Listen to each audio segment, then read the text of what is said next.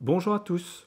Nous allons voir dans cette vidéo comment transformer votre Numworks en minuteur, donc qui va décompter les secondes jusqu'à minuit et ensuite afficher bonne année.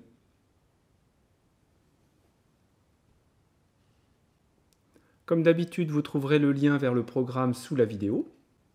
Alors pour faire ce minuteur, nous aurons besoin donc des librairies Kandinsky, Random et Time. Nous utiliserons également ce bout de code qui provient d'une de mes autres vidéos donc sur le jeu 2048 qui permet d'afficher des chiffres en grand. Donc par exemple, si ici je tape afficher, disons 5487, on voit ici le 5487. Pour lancer le programme, vous taperez Go, parenthèse, et s'il est par exemple 14h 5 minutes et 17 secondes à votre montre, vous tapez 14,0517. Donc je vais taper Go 14.0517, entrée. Donc je vois le nombre de secondes qu'il me reste avant minuit.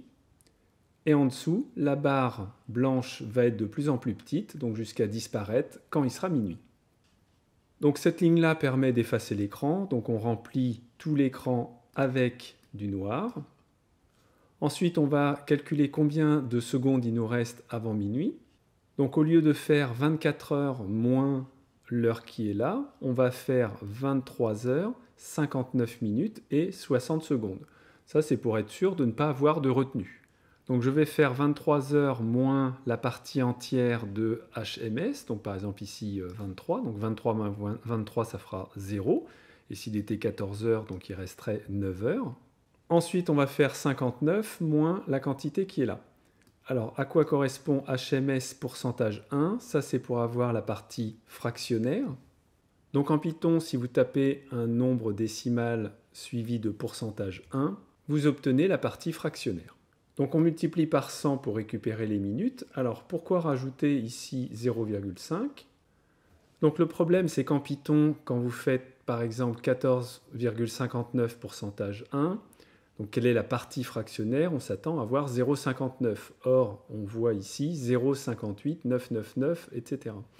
Donc quand je vais multiplier par 100, je vais avoir 58,999. Et quand je vais prendre la partie entière, j'aurai 58 au lieu d'avoir 59. Donc ici, ce que je fais, c'est que je rajoute 0, quelque chose. Donc pour être sûr d'avoir ici un 59. Donc s'il est par exemple 14h05, quand je vais faire 100 fois la partie fractionnaire, j'aurai soit 5, soit j'aurai 4,999. Donc en rajoutant le virgule 5, j'aurai bien 5, quelque chose.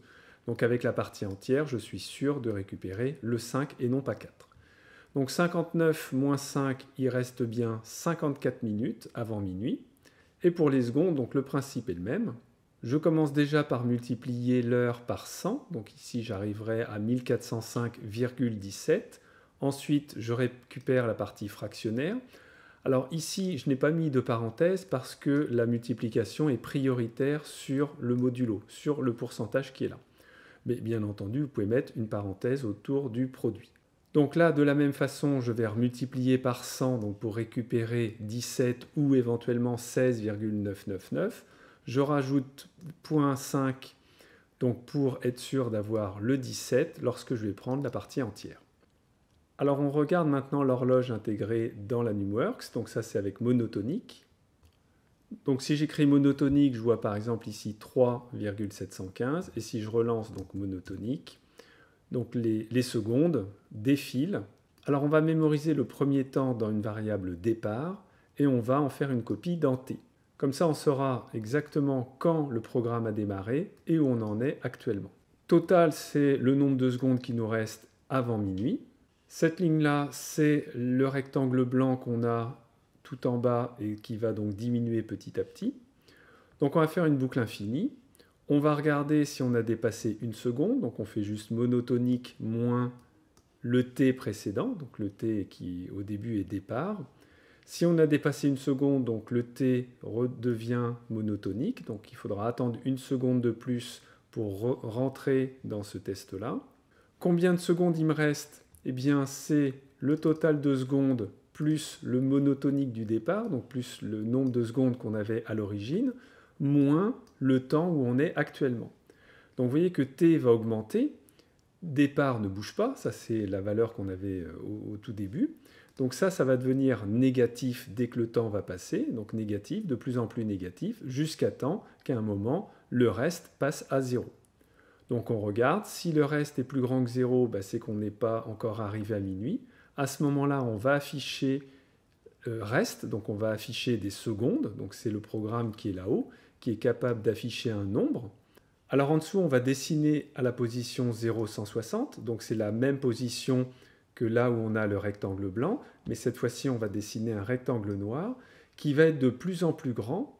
Donc plus le reste va être petit, donc moins il y aura de secondes, plus tout ça va être grand, et quand le reste sera à 0, eh bien, on aura ici total divisé par total, donc ça fera 1, multiplié par 320, et donc on aura un rectangle noir qui fera toute la largeur de l'écran.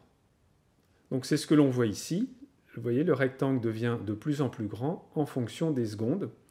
Et donc quand le reste est à 0, eh bien le rectangle fait toute la largeur de l'écran. Donc si le reste n'est pas positif, ça veut dire qu'on a dépassé minuit. Dans ce cas-là, on va faire 20 fois quelque chose qui va être est-ce que j'affiche bonne ou est-ce que j'affiche année?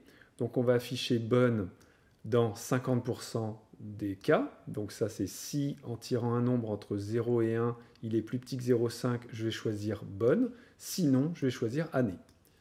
Pour la couleur, on va choisir donc une composante en rouge, en vert, en bleu de façon aléatoire, donc un nombre entre 0 et 255 à chaque fois et on va lui demander d'afficher le texte à une position aléatoire. Donc j'ai mis moins 10, c'est-à-dire qu'ici on peut avoir, vous voyez, du texte qui déborde du côté gauche.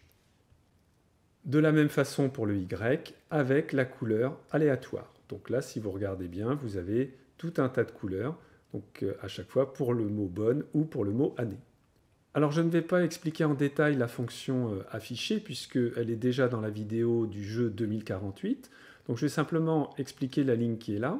Donc imaginons par exemple que le, nombre de secondes affichées soit 12 euh, 544. Donc pour savoir combien il y a de chiffres, on va utiliser str. Donc str, ça, va convertir donc, ce nombre en chaîne. Et ensuite, on va lui demander de nous dire il y a combien de caractères dans cette chaîne.